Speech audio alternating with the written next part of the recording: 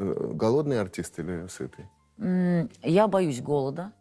Я, я боюсь голода. У меня питерские первые годы, они были голодные. То есть денег не было вообще. Я давала уроки английского языка, красила, а, как говорят строители, плинтуса. Не плинтуса, а плинтуса.